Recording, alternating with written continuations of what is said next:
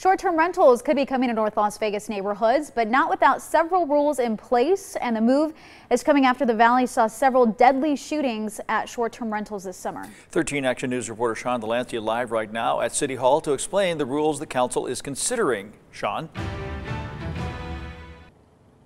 Yeah, Clean and Dave, the City of North Las Vegas uh, Council is considering two ordinances about this today. The combo will allow short-term rentals and then lay out the groundwork for them. The ordinances show that anyone can apply for a business license and operate a short-term rental like Airbnb out of their home, but you have to do a lot to get the license. First, you have to send a good neighbor brochure to every person within 200 feet of your home, notifying them and your HOA if you have one. You also have to make sure that you are not 660 feet from an existing short-term rental. Then you have to install noise monitoring equipment in any outdoor common area like a pool to ensure that guests don't get too rowdy. The ordinances specifically ban rentals for parties, and the license isn't exactly cheap.